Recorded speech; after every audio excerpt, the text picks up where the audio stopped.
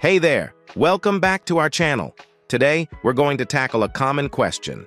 How to delete Spotify from your laptop. Whether you're switching to a different music streaming service or just looking to free up some space, we've got you covered.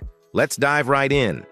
First things first, make sure you're logged into your laptop and you know where to find your applications. Deleting Spotify is a breeze, so don't worry. Here's what you need to do. Locate the Spotify app icon on your desktop or in your Applications folder. It typically looks like a green circle with three sound waves inside.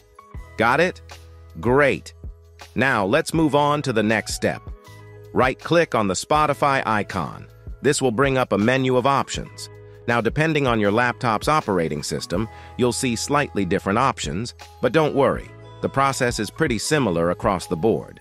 Look for the option that says uninstall, remove, or move to trash. Click on it.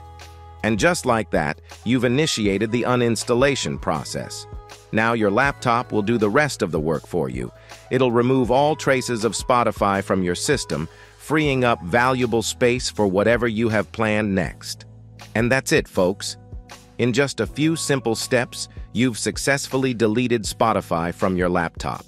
Now you're ready to move on to whatever's next on your digital journey. If you find this videos useful, please show your support with a like. Your feedback is invaluable to us, so feel free to share your thoughts and suggestions in the comments section below. We're eager to hear from you.